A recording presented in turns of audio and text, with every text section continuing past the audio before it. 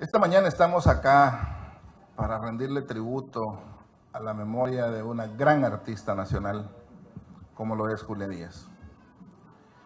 Siempre he sostenido que el arte es la parte sublime de los seres humanos. Esta es la parte que combina el aspecto espiritual, emocional y psicológico que nos identifican como cualidades únicas a los seres humanos.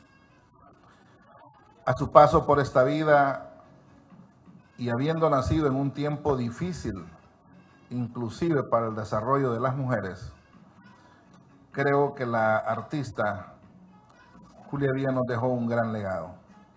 Basta hacer un recorrido por la calidad, la expresión, el contenido de cada uno de sus cuadros, de sus pinturas, para entender la enorme sensibilidad que ella trata de transmitir en sus cuadros y en sus pinturas.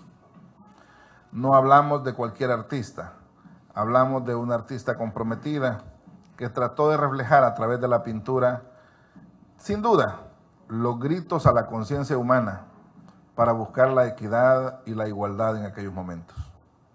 Es lo menos que podemos hacer hoy. Y yo quiero felicitar al Ministerio y a la Ministra de, de Cultura, a su equipo, por reivindicar a esta artista de altos quilates, alumna misma de grandes pintores,